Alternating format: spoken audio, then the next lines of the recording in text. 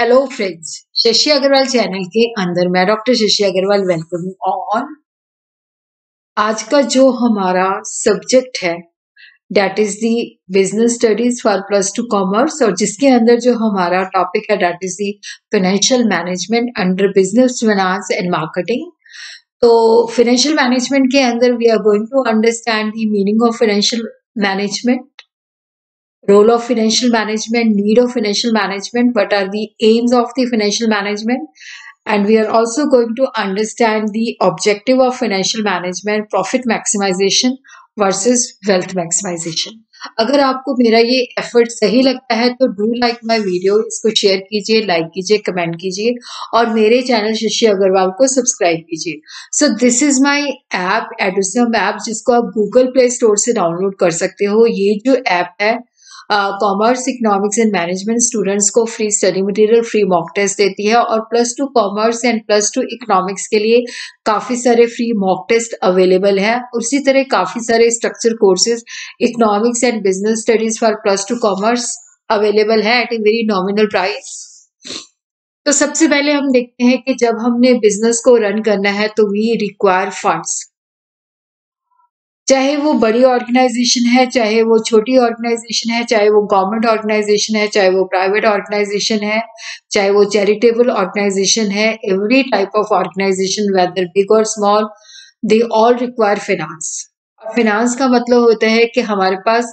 हमेशा जो है मनी का प्रोविज़न होता है। जब भी हमें बिज़नेस को चाहे एक्सपैंड करना है, चाहे बिज़नेस को सेटअप करना है every time we need funds finance refer to the management of flow of money in organisation देखो, इसका मतलब होता है कि ऑर्गेनाइजेशन के अंदर हर काम स्मूथली चले और कहीं पे भी वो काम जो है, पैसे की कमी की वजह से क्या है कि रुकना नहीं चाहिए। तो फिनांस के अंदर हम देखते हैं कि फ्लो ऑफ़ फंड जो है हमेशा प्रेजेंट होना चाहिए और हर बिज़नेस का जो life finance is the life and blood of every business अगर फिनांस अवेलेबल नहीं है तो बिज़नेस रन नहीं कर सकते। और जो फिनांस है, उसकी मैनेजमेंट जो है, बहुत ज़्यादा इंपॉर्टेंट है। Now we will understand the concept of the financial management देखो, जो फाइनेंशियल मैनेजमेंट है that part of the management which is concerned with the planning and controlling of firms financial sources. देखो planning के अंदर हम देखते हैं कि हमारी टोटल रिक्वायरमेंट क्या है, कौन से सोर्सेज है जहाँ से हमने फंड्स को ऑप्टेन करना है। फिर उसके बाद ही हमने ये भी देखना है कि जो फिनांस हमने ऑप्टेन किया है, उसकी प्रॉपर यूटिलाइजेशन होनी चाहिए। तो it deals with finding out various sources for raising funds for the firm कि हमारी ये टोटल रिक्वायरमेंट है। हमने कहाँ कहाँ पे हमारे पास लॉन्ग टर्म सोर्सेज हैं, कहाँ कहाँ पे शॉर्ट टर्म सोर्सेज है, कैसे हमने फंड जो है रेज करना है that is the financing function और ये जो सोर्सेज हैं सुटेबल होने चाहिए इकोनॉमिकल होने चाहिए नेचुरली जिस भी सोर्स से हमने फंड्स रेज करने हैं तो उसका कॉस्ट और बेनिफिट एनालिसिस किया जाता है। और उसी तरह financial management is not only concern with the obtaining of the funds उसके साथ फाइनेंशियल मैनेजमेंट के अंदर हमने ये भी देखना है कि जो फंड्स हमने ऑप्टेन किए हैं, उसकी प्रॉपर यूटिलाइजेशन होनी चाहिए। तो फाइनेंशियल मैनेजमेंट जो है that is concern with the management of flow funds के हमारे पास हमेशा एडिक्वेट टर्म एडिक्वेट मात्रा के अंदर क्वांटिटी के अंदर फंड्स होने चाहिए।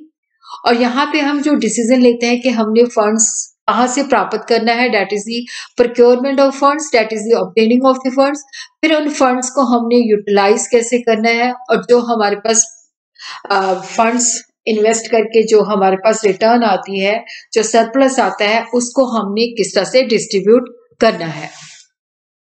तो फाइनेंशियल मैनेजमेंट जो है that is concern with the proper management of funds कि किस तरह से हम फंड्स की प्लानिंग करते हैं किस तरह से ऑर्गेनाइज करते हैं किस तरह से हम फंड्स को आ, किन एक्टिविटीज़ के अंदर जो है उनका इन्वेस्टमेंट करते हैं किस तरह से हम देखते हैं कि जो फंड्स है उसकी वेस्टेज नहीं होनी चाहिए।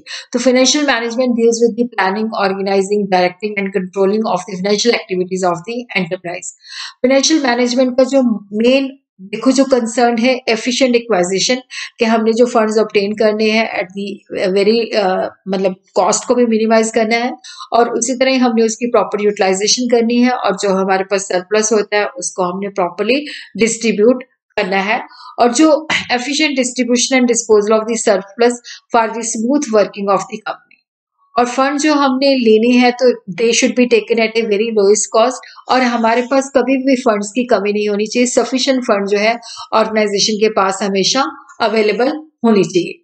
तो financial management is concern with the efficient acquisition allocation of funds and efficient distribution of the funds financial management is concern with the flow of funds involve decision related to the procurement of funds investment of funds and the distribution of the profit to the owners. Bessie has defined financial management. Financial management is the operational activity of business that is responsible for obtaining and effective utilizing the funds necessary for efficient operation. कि जो अगर हमने business को smoothly run करना है तो हमें जो है एफिशिएंट वे से फंड्स को ऑब्टेन करना पड़ेगा और एफिशिएंट वे से ही उसकी यूटिलाइजेशन करनी पड़ेगी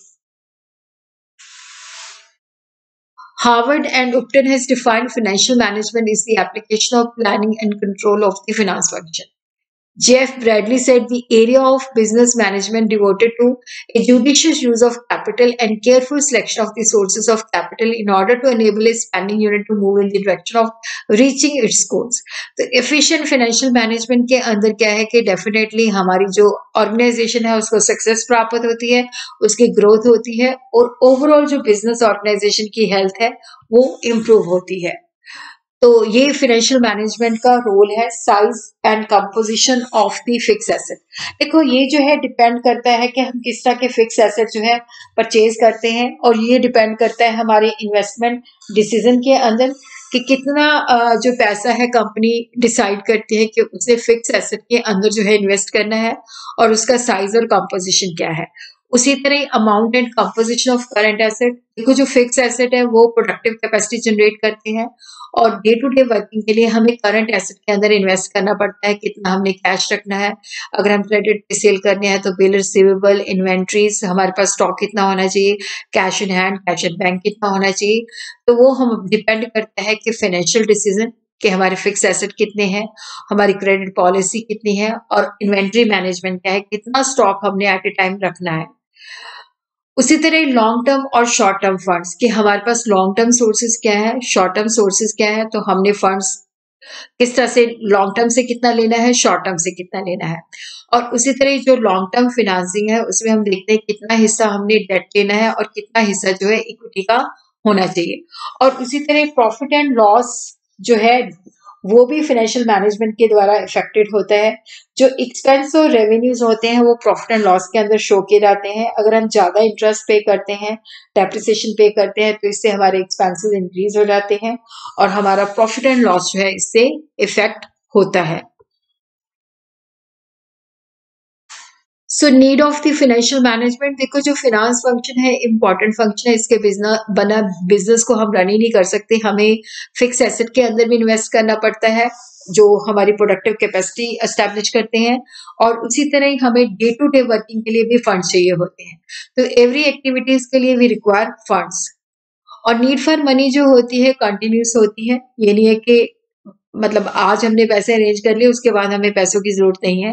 मनी जो है इट इज़ ऑलवेज नीडेड चाहे वो सेटिंग अप है, चाहे वो एक्सपेंशन है डाइवर्सिफिकेशन है, चाहे वो मॉडर्नाइजेशन है, चाहे वो एसेट की रिप्लेसमेंट है, जो भी है for every activity we require funds तो जो फाइनेंशियल मैनेजमेंट है, वो every type of organisation big और स्मॉल गवर्नमेंट और प्राइवेट चाहे वो प्रॉफिटेबल ऑर्गेनाइजेशन है, चाहे वो चैरिटेबल ऑर्गेनाइजेशन है every type of organisation require fund management तो फाइनेंशियल मैनेजमेंट जो है that requires financial planning and successful establishment of the organization.